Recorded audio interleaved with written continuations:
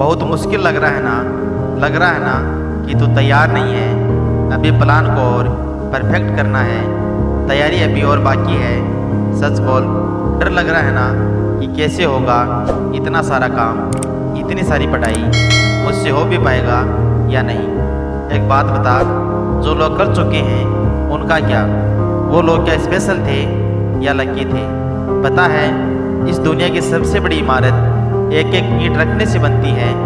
तुम हर दिन प्लान कर सकते हो, अक्सर सीट पर स्टेजी बना सकते हो। एक परफेक्ट ब्लू प्रिंट को फैंटासाइज करके, असली को प्रोकास्टिनेट कर सकते हो। काम को कल पे टाल सकते हो, पर एक बात याद रखना कि कल भी इतना ही मुश्किल होगा।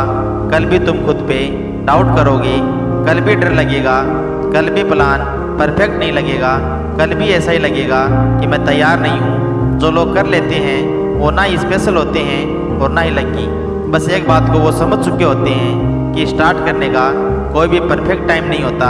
आप कभी भी पूरी तरह से प्रिपेयर नहीं हो सकते तो बस शुरू कर दो पेन चला के, किताब खोल के, पढ़ना शुरू कर दो।